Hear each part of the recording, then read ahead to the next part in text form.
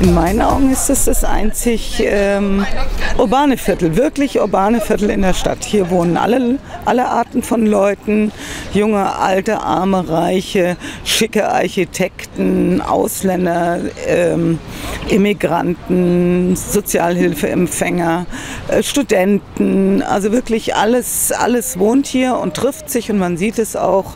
Ich finde einfach das, den, den Flair im Stühlinger insgesamt sehr schön, sehr urban, sehr, dass es mich immer an Berlin erinnert und nicht so langweilig ist wie in der Viere. Wenn man drüben im Turm im Hauptbahnhof hochfährt und schön auf die Stühlinger runterschaut, sieht man natürlich ganz viel The Modern Life, also alles aufge, äh, wie sagen wir, aufgestielte und so weiter. Die ganzen äh, Wohnungen, die oben aufgesetzt sind, die verdecken noch mehr etwas, was man nicht sieht. Es sind viele Innenhöfe noch, würde ich sagen, mit kleinen äh, Hinterhöfen im Sinne von Ateliers, die man also nicht so kennt. Ja, was man über die Geschichte sagen kann, das ist eigentlich städtebaulich interessant. Das ist die Gegend hinterm Bahnhof. Sprich, das ist eine schlechte Gegend. Da zogen die Leute hin, die nicht viel Geld hatten. Und das war tatsächlich auch so. Es war ein Handwerkerviertel. Und das kann man in Stühlinger heute auch noch ansehen in den Höfen. Da gibt es noch viel Hinterhäuser, Remisen, alte Werkstätten und ganz manchmal wird es auch noch benutzt. Zum Beispiel in der Druckerei oder ein Zimmerer gibt es noch. Da sieht man das noch. Und das ist sehr typisch und auch interessant, weil das, was wir ja so schön finden, diese Gründerjahrehäuser, äh, das kommt, weil es äh, in den Gründerjahren gebaut worden ist, das Viertel. Aber wie gesagt, es war eigentlich eher ein bisschen naserümpfend und abschätzend begutachtetes Viertel von der, von der Freiburger Haute Volée.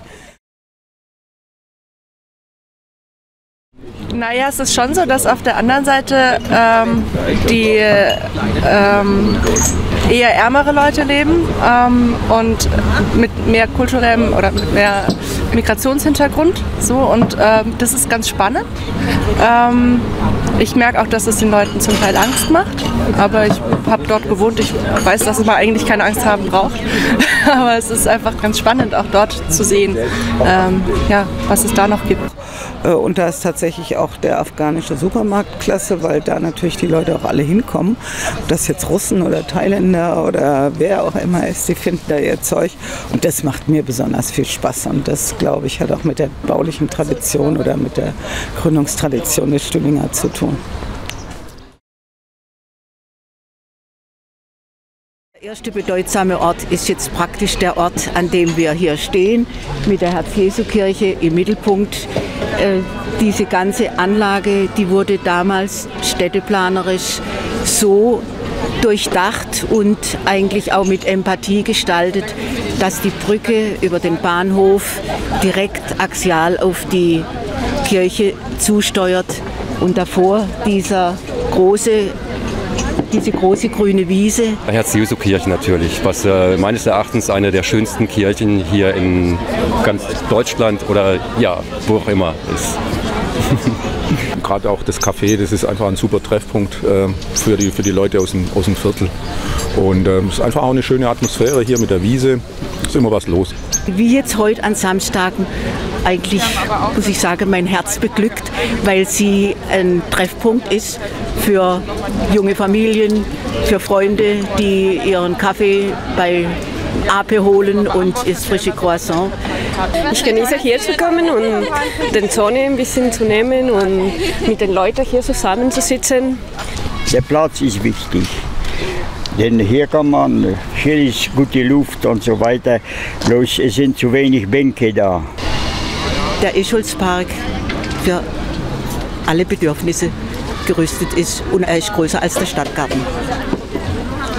Und dann zwischendrin die, eine der gelungensten Plastiken vom Glas Oldenburg. Ich finde, das vervollkommnet eigentlich äh, den Escholzpark und äh, er strahlt einfach Ruhe aus. Für mich, auf mich wenigstens.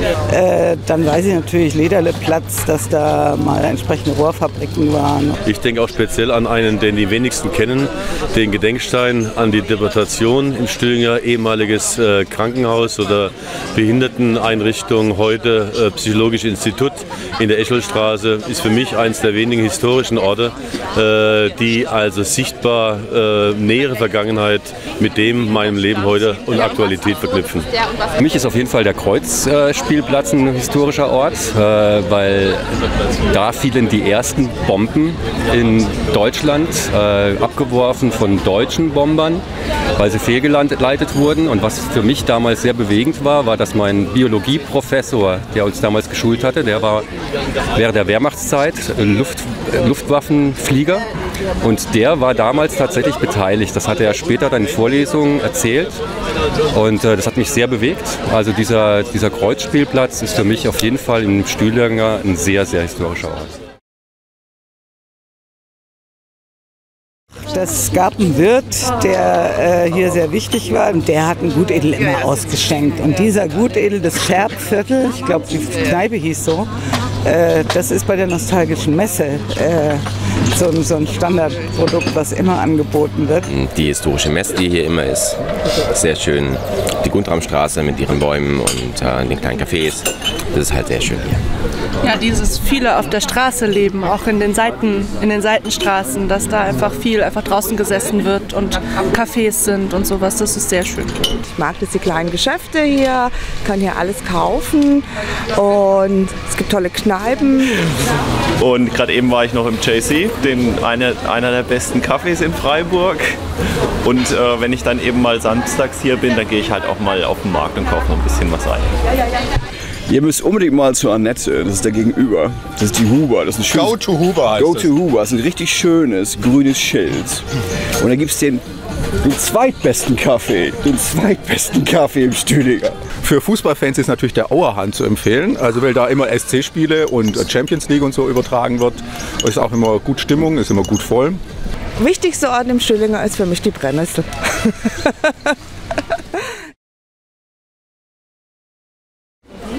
Mich würde noch mehr die ähm, handwerkliche Tradition äh, interessieren, weil ja hier auch sehr viele Hinterhöfe sind, wo ja früher einige äh, Betriebe waren.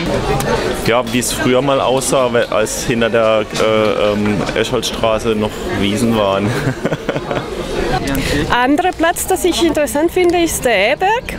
Äh, Ich weiß, was jetzt läuft, aber über die Geschichte des Gebäudes, der Gebäude weiß ich nicht viel.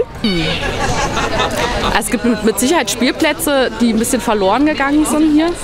Also gerade hinten, äh, wie heißt der, Kreuzacker? Oder Kreuzspielplatz. Der ist schon sehr schön.